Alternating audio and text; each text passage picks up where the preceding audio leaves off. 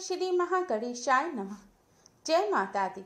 राधे राधे दोस्तों, कैसे हैं आप सब? दोस्तों, नवरात्रि चल रहे हैं। नवरात्रि के नौ दिन माँ दुर्गा की आराधना के दिन होते हैं। इन नौ दिनों में भक्त माता रानी का पूजन करते हैं और व्रत भी रखते हैं। माता रानी को प्रसन्न करने के लिए इन नौ दिनों में माता रानी की विशेष रूप से उपासना की जाती है। देवी भागवत पुराण के अनुसार नवरात्रि के दौरान जो भी माता रानी की कृपा प्राप्त कर लेता है, उसके लिए जीवन में कुछ भी असंभव नहीं होता। माता रानी अपने भक्तों की सब कष्टों और संकटों से रक्षा करती हैं और मनोवांछित वरदान देती हैं। दोस्तों, नवरात्रि का चौथा दिन माँ कुष्मांडा को समर्पित होता है। इस दिन माँ कुष्मांडा का पूजन किया जाता है। माँ कुष्मांडा की पूजा करने से सिद्धियाँ व निधियाँ मिलती हैं। निरोगी काया प्राप्त होती है, आयु व यश में बढ़ोतरी होती है। माँ कुष्मांडा की पूजा करने से बुद्धि का विकास होता है और हर कार्य में सफलता मिलती है। इस बार नवरात्रि का चौथा दिन 20 अक्टूबर दिन मंगलवार को है। इस दिन सौभाग्य और शोभन योग भी बन रहा है, जिससे यह दिन और भी खास हो गया है। दोस्तों, नवरात्र के दिनों में पड़ने वाले सभी दिनों का विशेष महत्व होता है। इनमें सबसे ज़्यादा महत्व होता है मंगलवार और शनिवार के दिन का, क्योंकि यह दिन वीर बजरंग बली को समर्पित है। भगवती दुर्गा और बजरंग बली की पूजा सदियों से एक साथ होती चली आ रही है। नवरात्रि में माता रानी को प्रसन्न करने के लिए कन्या पूजन का विधान है। कन्या पूजन में नौ कन्याओं के साथ एक लांगुर का पूजन अवश्य ही किया जाता है। वह लांगुर बजरंग बली का ही स्वरूप होता है। बजरंग बली को ही माता रानी के लांगुर माना जाता है। शास्त्रों में बताया गया है कि माता रानी को प्रसन्न करने के लिए, माता रानी की कृपा प्राप्त करने के लिए नवरात्रि के दौरान बजरंग बली को प्रसन्न करना और बजरंग बली की पूजा सेवा करना अति आवश्यक है। वैसे तो बजरंग बली सभी मनोकामनाओं की पूर्ति करने वाले देव माने जाते हैं। उनकी आराधना करना हमेशा शुभ फलदायी रहता है, लेकिन नवरात्रि के अवसर पर की गई साधना विशेष फलदायी होती है। हनुमान जी की उपासना से दुख, कलेश, रोग और संकटों का नाश होता है और सुख समृद्धि का वरदान प्राप्त होता है। शास्त्रों में बजरंग बली और माता रानी की पूजा, आराधना के कई विधान बताए गए हैं। लेकिन नवरात्रि के पावन अवसर पर माता रानी और बजरंग बली की कृपा प्राप्त करने का शास्त्रों में एक बहुत ही सहज और सरल उपाय बताया गया है। इस उपाय को करने से बजरंग बली माता रानी की कृपा से कैसी भी मुश्किल हो, उससे छुटकारा प्राप्त किया जा सकता है। साथ ही धन, ऐश्वर्य और सुख समृद्धि का भी आशीर्वाद प्राप्त होता है। दोस्तों, आज की इस वीडियो में हम आपको शास्त्रों में बताया गया वही सरल और अचूक उपाय बताने जा रहे हैं। अगर आप भी नवरात्रि के इन पावन दिनों में माता रानी और बजरंग बली का आशीर्वाद प्राप्त करना चाहते हैं तो इस उपाय को अवश्य ही करें। दोस्तों, उपाय को सही प्रकार से करने के लिए आप हमारी इस वीडियो को एंड तक अवश्य ही देखें। अगर आपने हमारे चैनल को अभी तक सब्सक्राइब नहीं किया है तो जल्दी से हमारे चैनल को सब्सक्राइब कर लें और बेल आइकन को हिट अवश्य ही करें, जिससे हमारी सभी नई वीडियोस की नोटिफिकेशन आपको फ्री में सबसे पहले मिल पाए। तो आइए दोस्तों, जानते हैं इस अचूक उपाय के बारे में। दोस्तों, यह उपाय आपको रात्रि के समय करना है। उपाय करने के लिए अच्छी तरह से मुँह हाथ पैर धोकर स्वच्छ वस्त्र धारण करें। इस उपाय को करते समय हो सके तो लाल या केसरिया रंग के वस्त्र पहने, क्योंकि यह दोनों रंग ही बजरंग बली और माता रानी को अति प्रिय है। स्वच्छ वस्त्र धारण करने के पश्चात अब अपने मंदिर के सामने आसन बिछाकर बैठ जाइए। अब आप एक शुद्ध घी का दीपक तैयार करें। अगर शुद्ध घी रहा हो तो आप मीठा तेल, जिसे तिल का तेल कहा जाता है, या कड़वा तेल, जिसे सरसों का तेल कहा जाता है। का दीपक तैयार करें। दीपक में एक रुई की बाती लगाएँ। अगर आपने नवरात्रि के दौरान माता रानी की अलग से चौकी स्थापित की है तो आप इस दीपक को माता रानी की चौकी पर रखें। नहीं तो अपने मंदिर में माता रानी के सामने इस दीपक को रखें।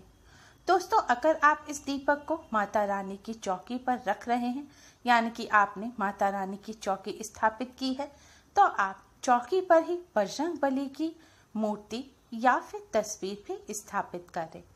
आप इस दीपक को सीधे ज़मीन पर ना रखें। दीपक को किसी पात्र में रखें या थोड़ी सी कच्चे चावल नीचे रखकर उसके ऊपर ही आप दीपक रखें। दीपक रखने के बाद आप इस दीपक को जलाएँ। अब आप एक साबुत फूल वाली लौंग लें। ध्यान रखें आपको साबुत फूल वाली ही लौंग लेनी है, जो पूजा में इस्तेमाल होती है। टूटी हुई लौंग या फिर बिना फूल की लौंग ना लें।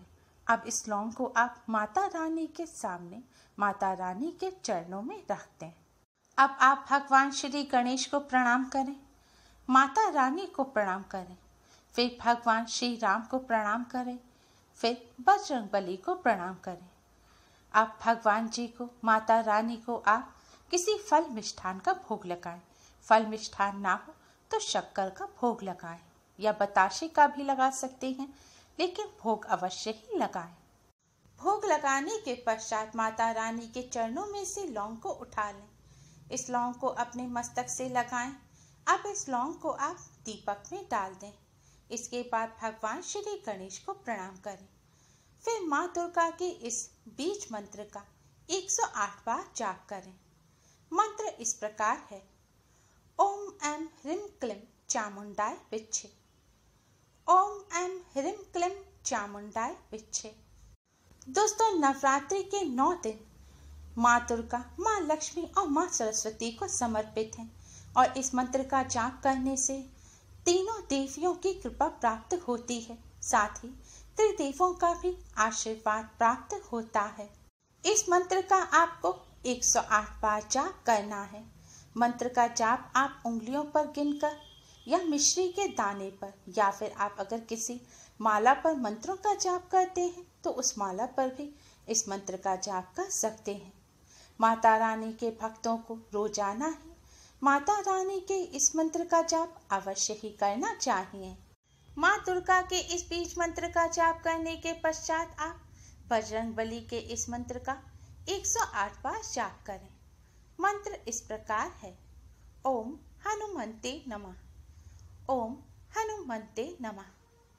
दोस्तों, बजरंग बली के मंत्र का जाप करने से पहले आप 11 बार राम नाम का जाप अवश्य ही करें। क्योंकि भगवान श्री राम की पूजा के बिना बजरंग बली की पूजा अधूरी होती है। बजरंग बली के मंत्र का जाप करने के पश्चात हो सके तो एक बार हनुमान चालीसा का पाठ भी अवश्य ही करना चाहिए। हनुमान चालीसा का पाठ करने से, बजरंग बली की कृपा से सभी कष्टों और संकटों से छुटकारा मिलता है। इस तरह माता रानी और बजरंग बली का पूजन करने के पश्चात अब आप हाथ जोड़कर भगवान श्री गणेश, माँ दुर्गा और भगवान श्री राम और बजरंग बली को प्रणाम करें। और आपकी जो भी समस्या है, जो भी परेशानी है वह माता रानी और बजरंग बली के समक्ष रखें और अपने सभी परेशानी, कष्ट और संकटों को दूर करने की प्रार्थना करें। धन संबंधी जो भी समस्या है या किसी कार्य में रुकावट आ रही है या कोई ऐसी मनोकामना है जो लंबे समय से पूरी नहीं हो पा रही है, वह सभी आप माता रानी और बजरंग बली के समक्ष कहें और सब समस्याओं को दूर करने की प्रार्थना करें। दोस्तों, शास्त्रों में बताया गया नवरात्रि के दौरान माता रानी और बजरंग बली का आशीर्वाद प्राप्त करने का ये सबसे सरल और अचूक उपाय है। इस उपाय को करने से माता रानी और बजरंग बली की असीम कृपा प्राप्त होती है।